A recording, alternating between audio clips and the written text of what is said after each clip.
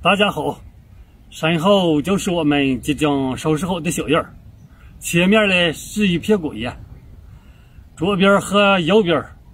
是两块小地，我们将在这里种点菜和摘点花，呃，还要种点红薯，呃，果子。过一个礼拜就会搬上来，我会在这里安安静静的为大家，呃。拍一些关于山西农村生活的小视频，嗯，来展示我